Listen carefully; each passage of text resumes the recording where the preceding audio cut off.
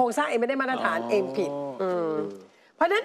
เวลาเขาด่าเขาจะตะโกนตะโกนตะโกนตะโกนแล้วก็ทุยน้ำลาย อืมแล้วก็ชี้หน้ากันอย่างนี้ อืมแต่เขาจะไม่แตะ แตะเมื่อไหร่คนที่แตะคนแรกผิด เหมือนกันว่าถ้าถ้าหรือเมื่อไหร่ก็ตามที่ถึงกับทำร้ายร่างกาย แตะแล้วความผิดครับในการทำร้ายร่างกายแล้วครับเขาถึงจะไม่ฆ่า ถ้าฆ่านี่หนักมากเลย มันเป็นสเต็ปอ่านั่นแหละ ทีนี้วันนี้อดีตท่านทูตนริศโรจน์เฟื่องระบิลเนี่ยนะคะ ท่านพูดถึงว่าคนทำร้ายศรีสุวรรณเนี่ย แล้วก็คนที่เชียร์เนี่ยเป็นเป็นคนที่ไปดูพฤติกรรมเนี่ยปากพร่ำพูดแต่เรื่องประชาธิปไตยทั้งสิ้น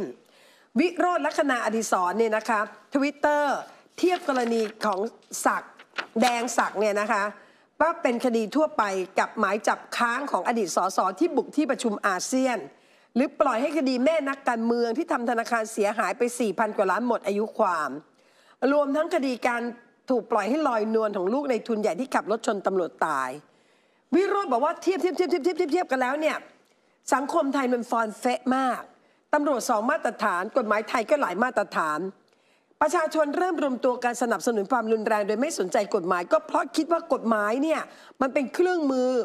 ของผู้ปกครองที่กดขี่ประชาชน มันมีสองมาตรฐาน